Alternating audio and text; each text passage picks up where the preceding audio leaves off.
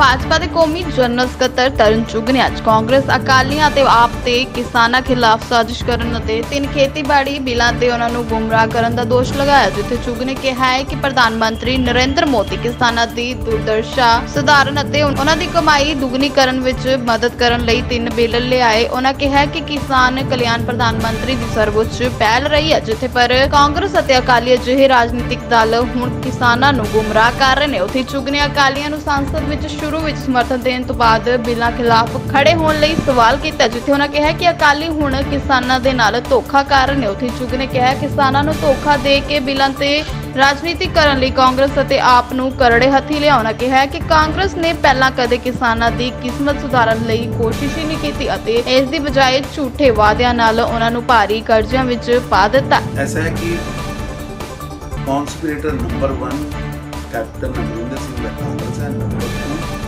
बादल व आम आदमी मैं पूछना चाहता हूँ कैप्टन साहब, ये आपका मैनिफेस्टो है? आपने वादा किया था नब्बे हज़ार करोड़ के किसानी कर्जे को माफ़ करने का। क्यों नहीं किया? ये आपका वादा है। नौ एक 2017 को आपने किसानी कर्जे माफ़ करने की बात की थी।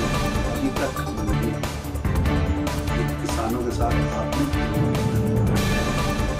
ये बिल बादल से मैं पूछना चाहता हूँ, बादल उस समय समर्थन बड़े बादल साहब का बयान भी आया सुखबीर जी का बयान भी आया, मैडम हरसिमरत कौर बादल जी का बयान आया।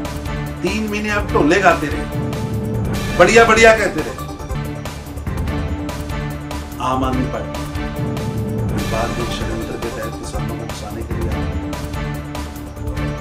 झूठ बोलने लगे तीनों के तीनों दिन अक्षर अक्षरशाह किसानों के हित में और प्रधानमंत्री श्री नरेंद्र मोदी जी ने किसानों के हित में ही हमेशा काम किया उन्हें अन्नदाता माना मोदी जी ने कृषि बजट जो 2014 में ग्यारह हज़ार करोड़ था, उसको सवा लाख करोड़ तक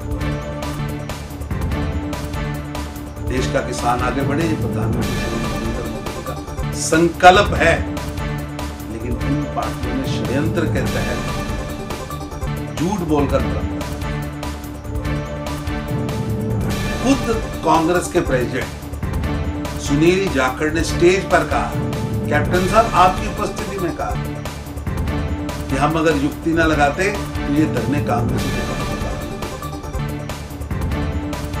अपने गलतियों से बचने के लिए आपने इतना बड़ा झूठ बोला और आपके प्रेसिडेंट ने खुद अपने मुँह से बोला ये धरने हमारी को वो धरने दिल्ली में कौन जिम्मेवार है?